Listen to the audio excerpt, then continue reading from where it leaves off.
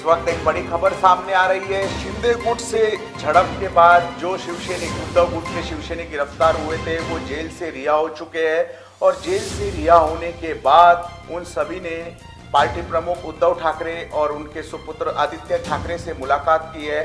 इस मुलाकात के दौरान जो खबर सामने आ रही है, उद्धव ठाकरे ने इन सभी शिवसैनिकों की पीठ थपथपाई है। तो आपको बता दूँ शिंदे गुट और उद्धव गुट के बीच हिंसक झड़प हुई थी।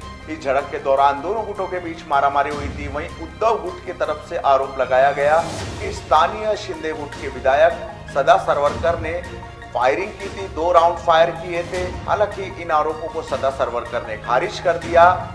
लेकिन आज दादर पुलिस स्टेशन के बाहर शिवसेना सांसद अरविंद सावंत और विधान परिषद में विरोधी पक्ष के नेता अंबादास दानवे के नेतृत्व में शिव सैनिकों ने प्रदर्शन किया। इस दौरान शिंदे सरकार हाया के नारे लगाए गए, उद्धव गुट के कार्यकर्ताओं की तरफ़ से।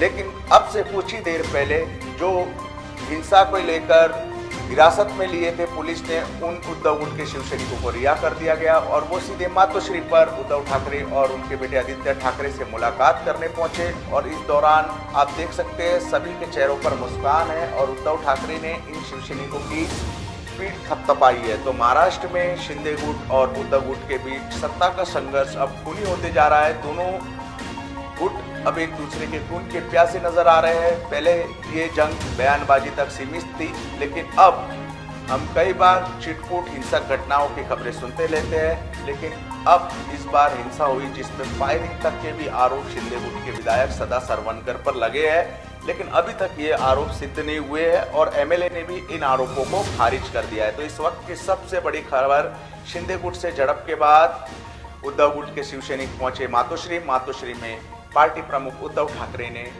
जेल से रिहा हुए सभी शिवसैनिकों की पीठ थपथपाई। ये वही तस्वीर है इसमें सभी लोग मुस्कुराते हुए नज़र आ रहे हैं।